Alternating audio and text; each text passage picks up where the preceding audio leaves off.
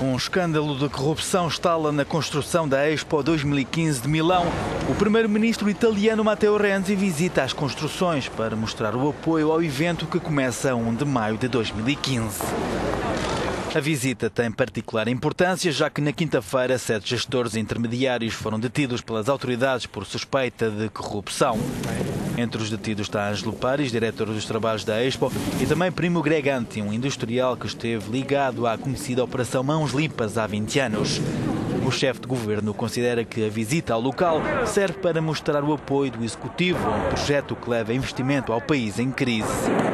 A oposição tem pedido o cancelamento da exposição, mas o primeiro-ministro afirma preferir cair nas sondagens do que parar o investimento e sublinha que os criminosos têm que ser travados.